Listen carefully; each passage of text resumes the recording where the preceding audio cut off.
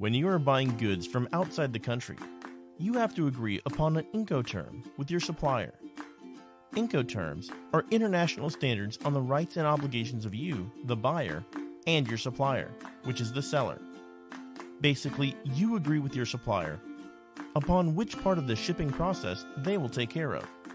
In most cases, your supplier will offer terms as EXW, which means Ex Works, or FOB, which means free on board.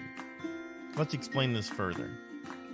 You're here, and here is the factory, the customs, the port, and the boat which will carry your goods. When you agree upon EXW, you are responsible to take care of every part of the shipping, starting from collection at your supplier. When you agree upon FOB, you only take care of the shipping after the moment the goods have been loaded onto the boat.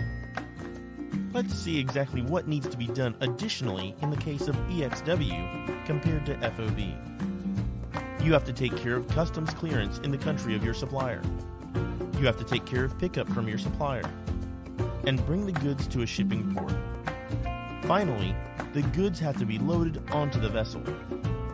In order to save the costs required for these so called local handling, you can try and negotiate FOB with your suppliers.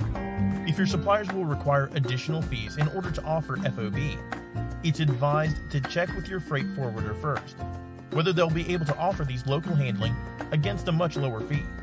You can contact us in case you need help with this.